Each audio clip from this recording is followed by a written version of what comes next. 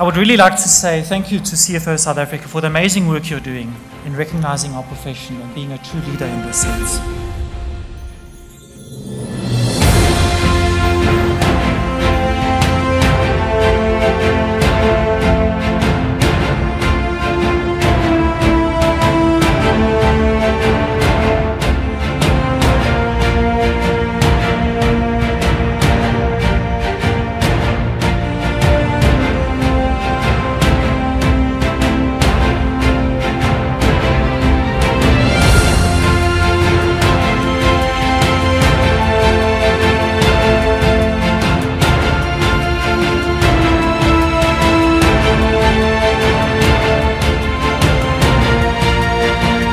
The CFOs in the room, I guess, you know, we have a responsibility um, to our companies, um, to corporate in general, as well as to the country.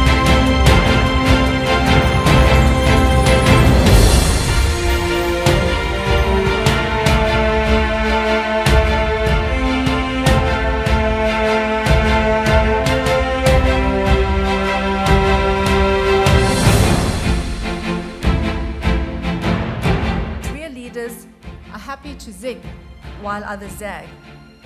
They understand that in an era of hyper competition and non stop disruption, the only way to stand out from the crowd is to stand for something special.